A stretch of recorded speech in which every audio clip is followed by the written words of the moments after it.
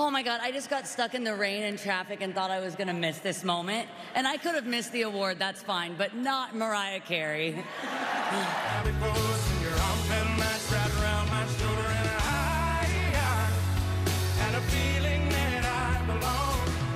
I don't know how to feel, but I. I don't want to embarrass this young lady, but she has more Grammys than everyone and never won Album of the Year. So even by your own metrics, that doesn't work.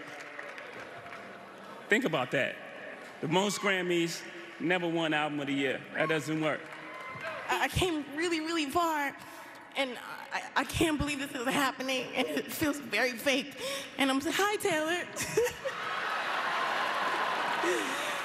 Uh, I love you. Um, I'm just very grateful, I'm not an attractive crier. Have a good evening. Bye-bye.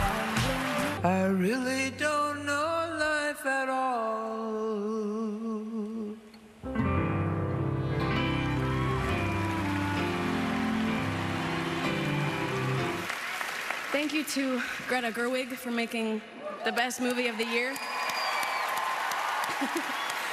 um, Thank you to Paul Walker for um, having a meeting where he said that we should have a song on the soundtrack and then calling me out of the blue and being like, Do you want to be on the Barbie soundtrack?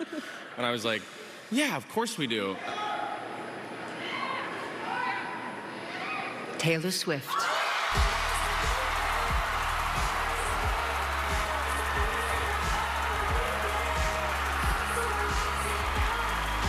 One of my best friends, who is not only one of my best friends, but also a once in a generation producer. That's Jack Antonoff. I'm so lucky